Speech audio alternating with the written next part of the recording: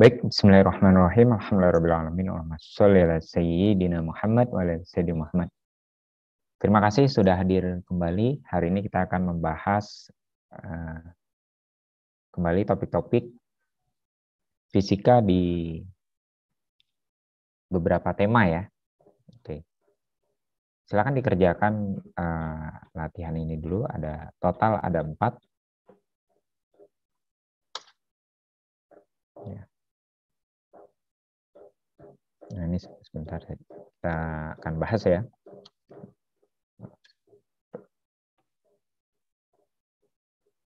Oke, kita mulai dari yang pertama.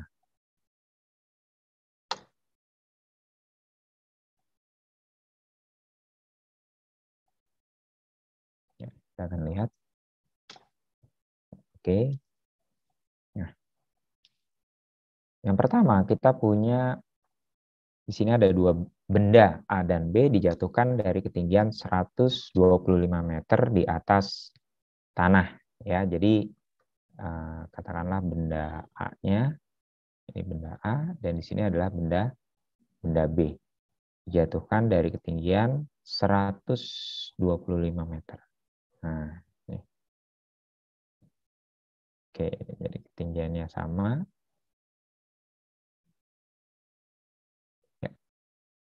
H sama dengan 125 meter. Benda A dilepas tanpa kecepatan awal. Jadi ini kecepatan awalnya sama dengan 0 m per s. Kemudian benda B dilempar menyusul benda A. Jika kedua benda tersebut sampai di tanah dalam waktu bersamaan, oke, jadi A dan B akan sampai dalam waktu yang bersamaan.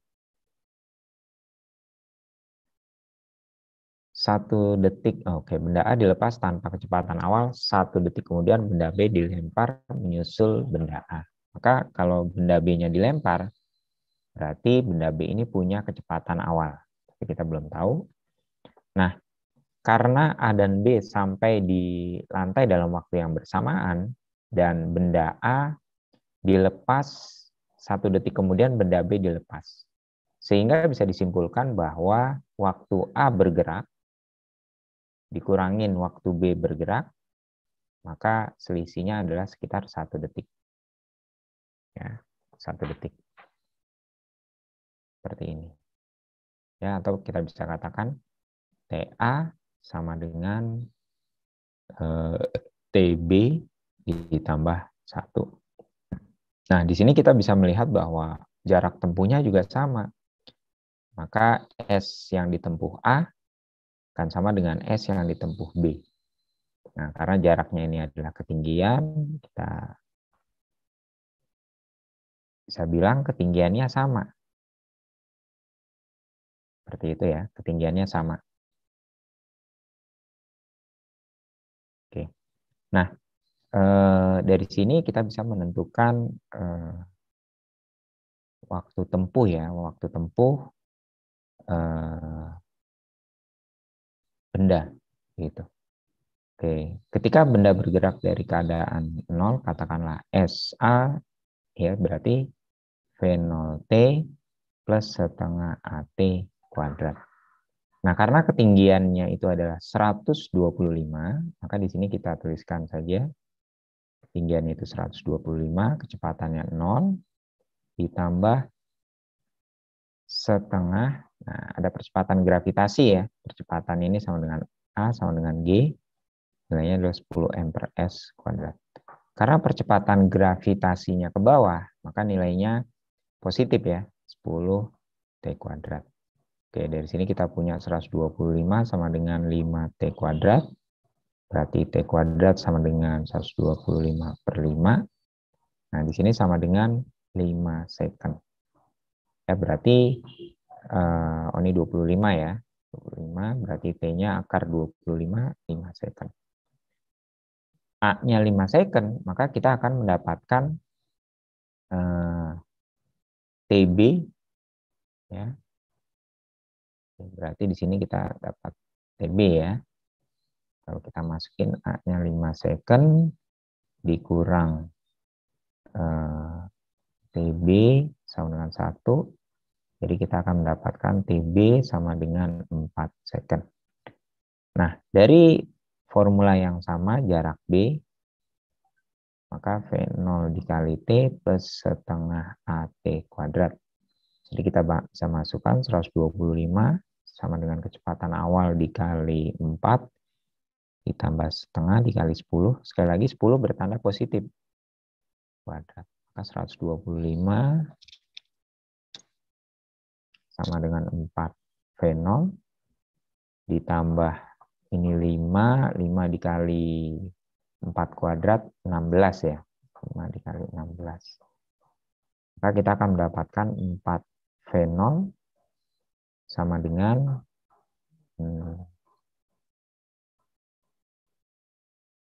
125 dikurang 5 kali 16 berarti 80. Berarti 4 V0 sama dengan 45. Jadi kita akan mendapat V0 sama dengan 45 per 4. Ya, jadi sekitar uh, eh, 11,25 M per S. Oke, silakan bila ada yang ingin ditanyakan. Oke, saya perkecil dulu biar pas. Nah, seperti ini.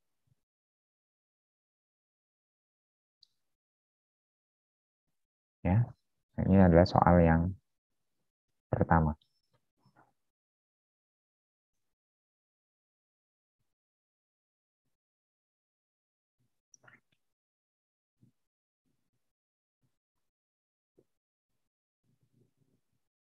Baik, kita akan lihat di soal berikutnya ya, berdua.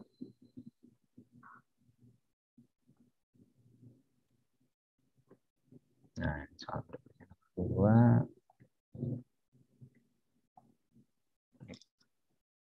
Nah, di soal nomor dua kita punya sebuah mikroskop ya, terdiri dari lensa objektif.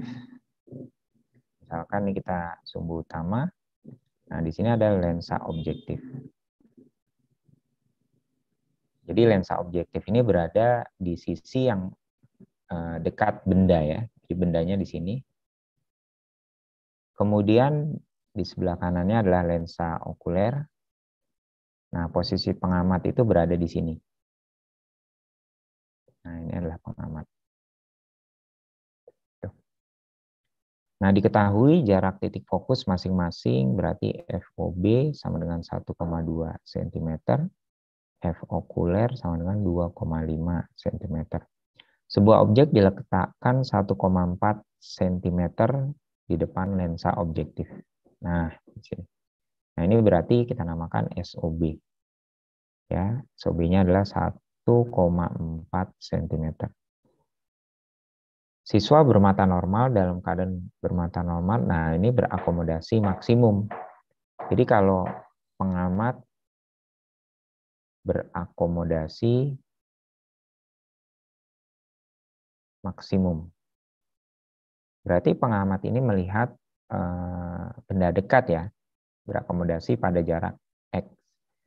Nah, eh, jarak dekatnya ini adalah PP, yaitu 25 cm.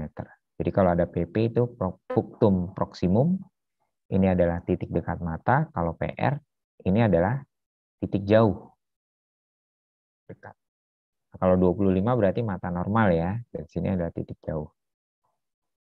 Oke. Jadi kalau pengamat berakomodasi maksimum, maka perbesaran lensa okuler sama dengan uh, titik dekatnya, P, dibagi dengan FOK ditambah 1. Ya.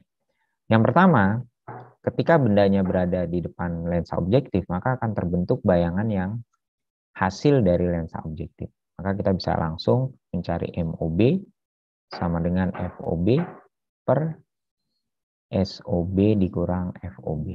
Ya, ini penyederhanaan ya. Sebenarnya kita bisa mencari MOB dengan S aksen OB per SOB. Gitu.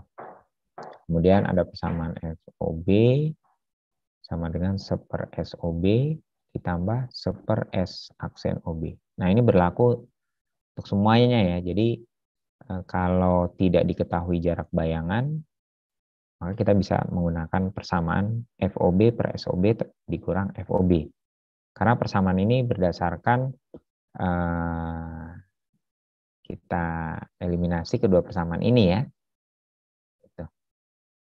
Jadi kalau tidak diketahui S-aksen OB, SOB, maka kita bisa cari dengan persamaan ini, atau kita bisa langsung menggunakan persamaan perbesaran. Ini. Oke, kita hitung dulu ya. Jadi MOB sama dengan FOB-nya adalah fokus lensa objektif ya. Nah, di sini 1,2 dibagi SOB-nya adalah 1,4 dikurang 1,2. Kita dapat 1,2 dibagi 0,2. Di sini berarti 6 kali. Kemudian perbesaran lensa okuler, nah titik dekat ini PP, terkadang disebut juga sebagai SN. Nah ini sama ya, punctum proximum atau SN titik dekat mata normal. Itu 25, evokanya 2,5 ditambah 1. Jadi kita dapat 10 tambah 1 berarti 11. Nah, karena benda ini diperbesar dua kali oleh lensa objektif dan okuler, maka kita bisa cari M total sama dengan MOB dikali MOK. Jadi sama dengan 6 dikali 11, maka kita dapat 66 kali. Oke, itu dia.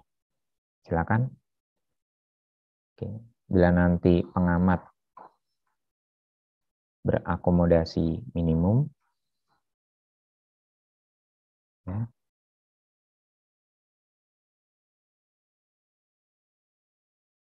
ya maka nanti MOK-nya sama dengan SN per F. Atau kalau diketahui PP sama saja. PP per F. Ya nanti M totalnya sama MOB dikali MOK. Oke, sementara itu saja. Ya. Nanti kita akan lanjutkan di sesi berikutnya. Oke, terima kasih semua. Kita tutup dengan membaca hamdalah, hamdalah rabbil alamin. Subhanakallahumma bihamdika, syadu la ilaha anta astaghfiruka wa atubu. Assalamualaikum warahmatullahi wabarakatuh. Oke, terima